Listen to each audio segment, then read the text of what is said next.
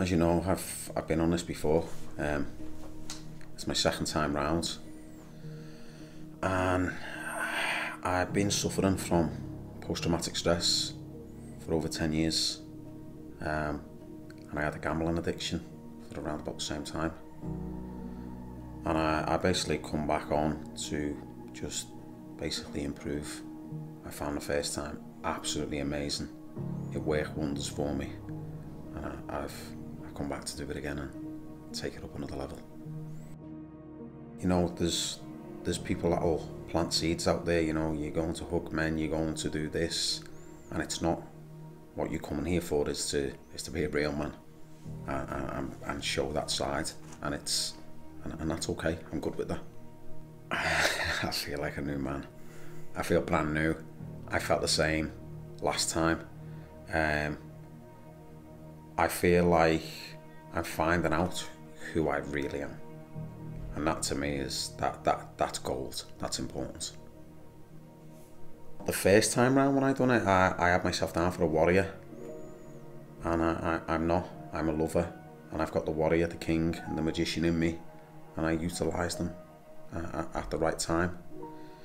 I learnt so much from Men Without Masks, um, and it's as much as it's important to to move on, to forgive other people in the past. You've also got to forgive yourself. I, I, I, th- I think that's key in moving forward. I'm 35 years of age. I've been a soldier and a security consultant for 16 years.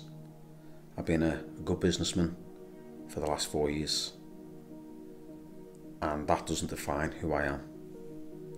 I've, second time round, I found my life purpose and my passion. Um, and I, I'm going to continue the journey and keep doing self development. And my goal and my passion is to run a course for people that suffer with post traumatic stress. If someone said to me 10 years ago, you'll be doing a men without mask retreat, I'd have laughed my cock off. But here I am, I'm back. I loved it first time, I loved it second time, and it's not about being great or great at something. It's about doing great things, and that's that's my vision, that's my purpose, and remember that Mask has given me the the confidence to do that. Anybody that that constantly looks outwards instead of inwards, blame, anger, questions themselves, anybody. It's open to, to, to all sorts of people. You don't have to be a soldier. You don't have to have post traumatic stress.